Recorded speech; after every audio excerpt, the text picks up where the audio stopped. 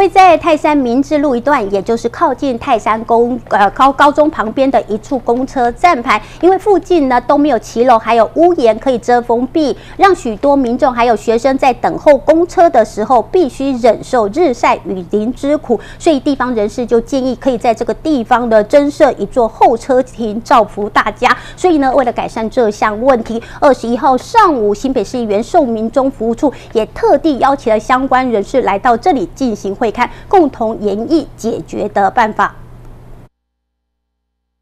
在泰山明志路一段泰山高中校舍旁的公车站牌，由于周遭没有骑楼或屋檐，许多民众和学童在等候公车时都必须忍受日晒雨淋，非常的辛苦。地方里长见到这样的状况，心里相当不忍，便请托市议员送民众服务处协助，希望能够在此处设置一座候车亭，以方便民众使用。二十一号上午便邀请相关单位到场会勘。里面反映哦，在这里等车的时候哦，啊那个。通通哦，没有遮风哦啊，下雨的时候都没有办法在这，所以我帮那个请那个我们议员，我们送议员哈，以及我们乡公所哈，哦像那个区公所哈，一起来会看这个做一个候车亭，让我们这个呃里民啊在这里等候车子的时候有好的地方，哎对，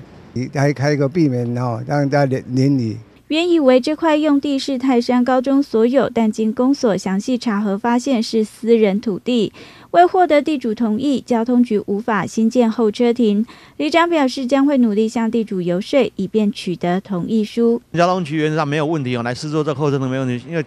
经我们公所查证是一个牵涉私人土地的问题哦，里长会去来协商来盖同意书，签同意书出来就可以来施作这个候车亭。待征求地主点头并取得同意书之后，市议员宋明忠服务处将会督促交通局紧速发包施工。新建完成之后，民众在等候公车时再也不必忍受日晒雨淋。永嘉的记者泰山采访报道。